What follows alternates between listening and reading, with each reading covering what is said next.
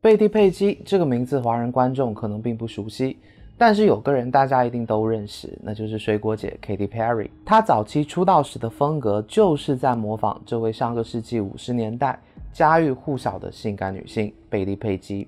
她对美国流行文化的影响有多大呢？从麦当娜到蒂塔·万提斯，她的魅力让无论是路人还是明星都深深着迷。甚至在她去世的五年后，在福布斯2013年公布的最赚钱的已故名人排行榜里，他和爱因斯坦并列，以一千万美元排行第八。但就是这样的一位绝代佳人，却在七十和八十年代犯下了一系列罄竹难书的暴力犯罪。甚至几乎杀死了一个人。Betty Page 全名 Betty May Page，在一九二三年八月二十二号出生于美国田纳西州的纳什维尔。他在家里的六个孩子中排行老二。但他的家庭并不富裕，父亲甚至因为盗窃汽车，在乔治亚州的亚特兰大蹲了两年的监狱。母亲则不得不身兼两份工作来维持家庭的生计，白天是发廊的美发师，晚上则去洗衣店兼职。贫贱夫妻百事哀，这样的家庭注定是不会和睦的。于是，父母在佩姬十岁的那年选择了离婚，家庭的重担就全部都落在了母亲的肩上。他不得不把佩姬和他的两个妹妹寄养在了孤儿院一年。尽管父母已经离了婚，但由于孩子实在是太多了，照顾不过来。离婚之后呢，他的父亲还是寄住在家里的地下室。这样的生活在我们现在看来已经够糟糕了。但佩姬在自己晚年的回忆录里说，十三岁那年，他的禽兽父亲性侵了他。唉。经历了如此悲惨的童年，很多人会选择自暴自弃，但是佩姬并没有。她不仅以班上第二名的好成绩从休姆佛格高中毕业，甚至还是学校辩论队里的明星辩手。在她的青春期，她还和妹妹自学了化妆、美发和缝纫技术，这些都为她未来的成功奠定了基础。高中毕业后，佩姬以优秀的成绩被全美排名前二十的范德比大学录取，并梦想成为一名教师。学校还为他提供了奖学金，但在大二的时候，他改变了自己的志向，最终在一九四四年拿到了艺术学士学位。就当佩姬憧憬着自己的未来，一九四七年，他只身一人来到了纽约。但刚到纽约没有几天，不幸的事情又发生在了他的身上，他被一群男人性侵了。受伤的他短暂的回到了自己的故乡。但并没有因此意志消沉下去，在几个月之内呢，他又回到了纽约。这次幸运女神终于眷顾了他。一九五零年，佩姬在一位摄影师的介绍下，成为了一名海报模特。生性大胆开放的她，很快就因为标志性的黑色长发、性感的比基尼服饰以及前卫撩人的姿势。一夜成名，她成为了那个年代最著名的封面女郎，被人称为“海报女王”。无数的情色杂志争先恐后的找她合作。花花公子的创始人休·赫夫纳甚至认为她才是全美直男们的梦中情人，而不是梦露。漫威的斯坦李还为他创作了同名漫画，DC 的神奇女侠也深受他的影响。据他自己回忆，在他事业最巅峰的那几年，工作一小时的时薪是六七十美元。放现在也超多的好吗？要知道那个时代，普通蓝领工人的时薪是一个小时一美元，所以无论以哪个时代的标准，当时的佩姬都是人生赢家。但就在他的事业蒸蒸日上的时候，他做出了一个所有人都意料之外的决定，而这个决定也最终让他走上了不归路。一九五八年，事业如日中天的佩姬选择了隐退。在这一年之后呢，佩姬没有再拍摄过任何一张的杂志封面。有传言说，佩姬是因为当时的一桩案子而选择了退出。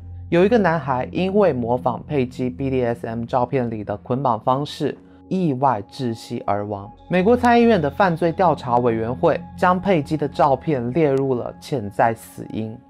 这件事对于佩姬自己和他的事业都是不小的打击。当然，这只是传言，真正的原因大概只有佩姬自己才知道。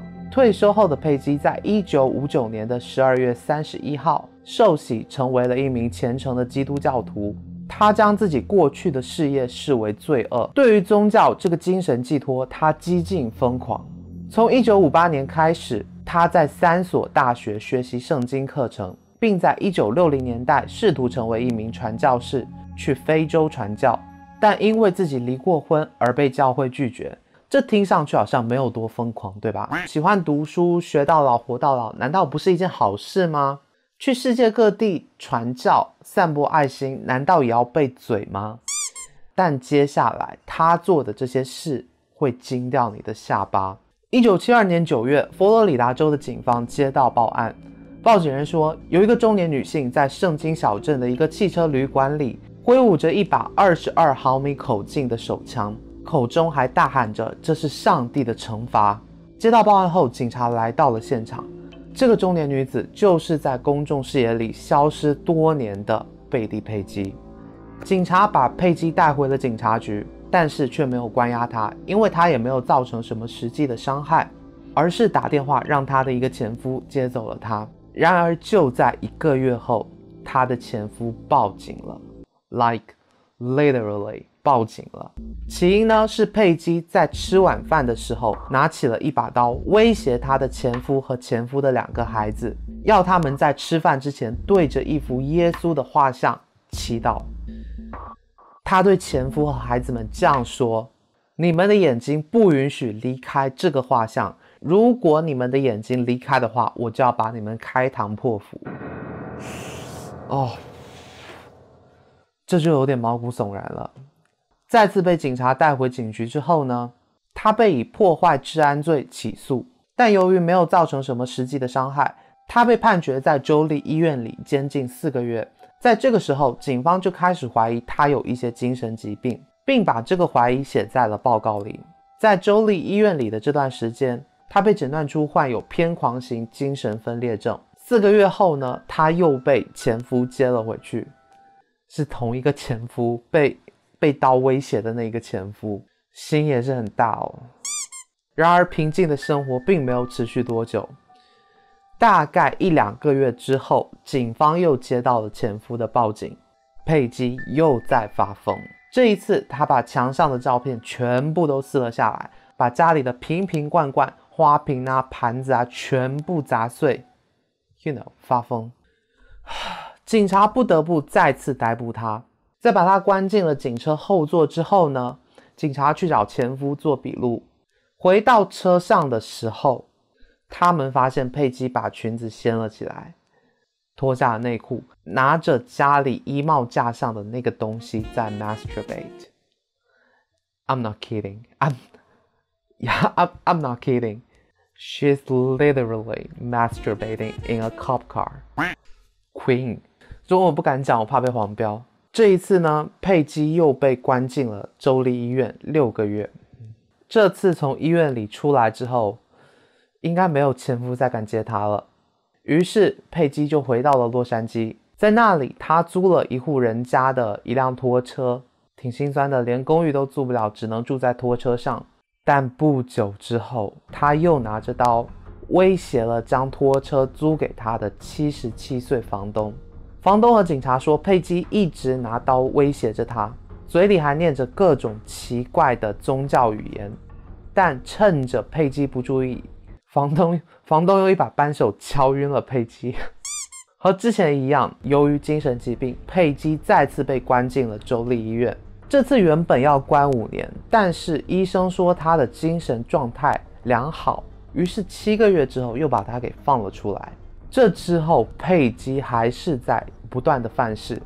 他先后攻击了同一位房东两次，之后又被关进了医院二十个月。然而，就在出院不久，一九八二年的某个晚上，佩姬拿着一把三十多厘米的面包刀，悄悄地潜入了房东的卧室。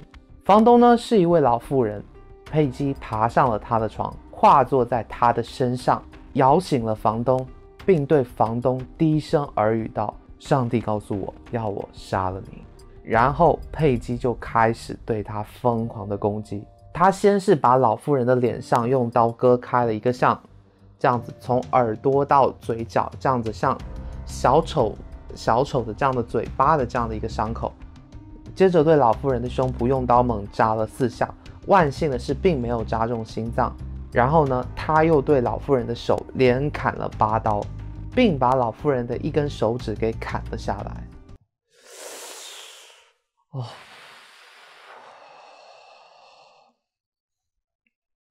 老妇人呢也是命大，并没有死。这件事情发生后呢，佩姬依旧没有被判刑，像之前一样，她再次因为精神疾病被关进了州立医院。说实话，这真的有效果吗？Please 都，Please 都已经关了这么多次了，每次出来就一样是犯事，真的就是在搞三小，我也不懂。但这次由于情节比较严重，他被关进了医院长达十年。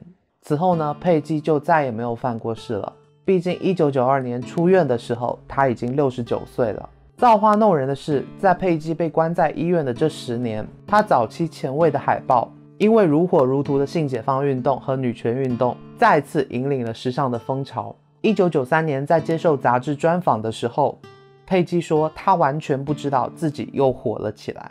但现在的她却身无分文。在生命最后的十五年里，佩姬的精神状态好了很多。在卖出了自己的同名漫画以及参加了一些节目访谈之后，她终于有了一些积蓄去度过自己的晚年。不算富有，但也不算老无所依。在二零零八年十二月十一号，佩姬永远的闭上了他的眼睛。纵观他的一生，他挺过了不幸的童年，甚至自立自强，不仅考上了大学。更在娱乐圈闯出了自己的一片天下。他的风格独树一帜，对后世的流行文化有着深远的影响，但却选择在事业如日中天的时候急流勇退。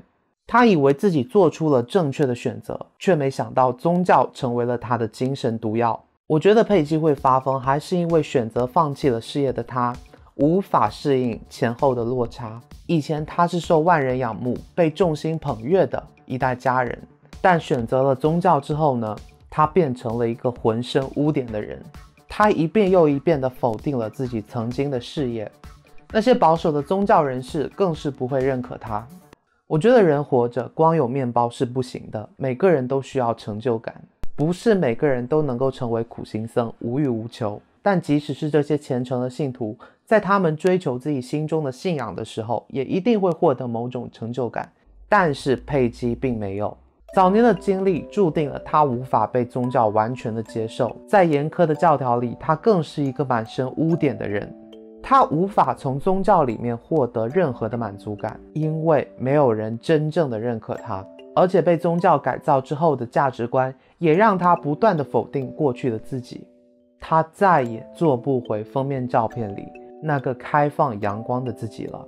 于是，理想和现实的巨大落差让他最终堕入了深渊。这就是贝蒂·佩姬的一生。